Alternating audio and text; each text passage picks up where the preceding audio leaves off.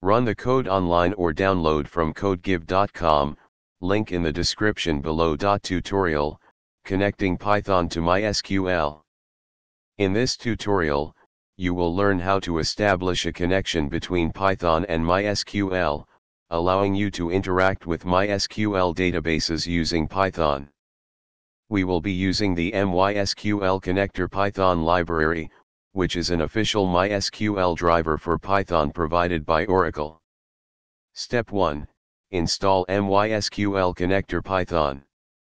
Before you can begin, you need to install the MySQL connector Python library if you haven't already.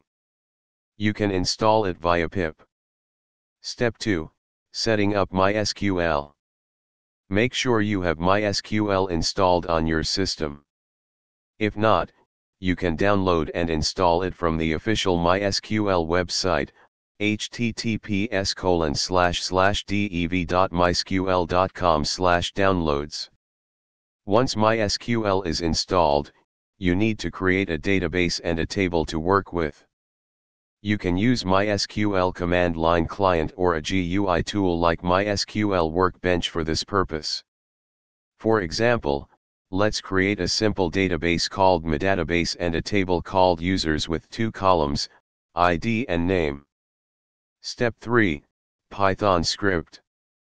Now, Let's write a Python script to connect to MySQL, insert data into the users table, and retrieve data from it. Replace your username and your password with your MySQL username and password, respectively. Step 4, Running the script.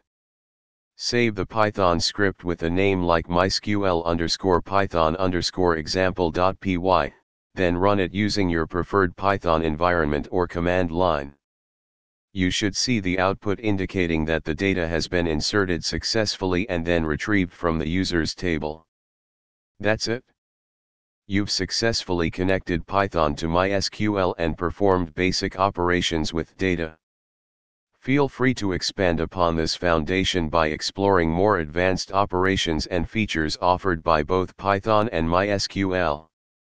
ChatGPT